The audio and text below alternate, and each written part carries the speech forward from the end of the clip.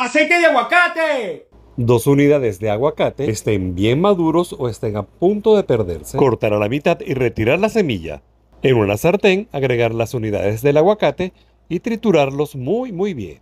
Calentar al menos por una hora a fuego medio, revolviendo constantemente hasta que el aceite salga. Cuando esté tibio, colocar en un colador de tela o franela que ya no utilices hasta extraer la mayor cantidad de aceite que puedas. La textura de este aceite es súper suave. ¡Buenísimo, buenísimo, buenísimo! Calma la piel y evita la deshidratación y la descamación. Aplicado diariamente ayuda a prevenir las estrías. Estimula la producción de colágeno, por lo tanto previene la aparición de las líneas de experiencia.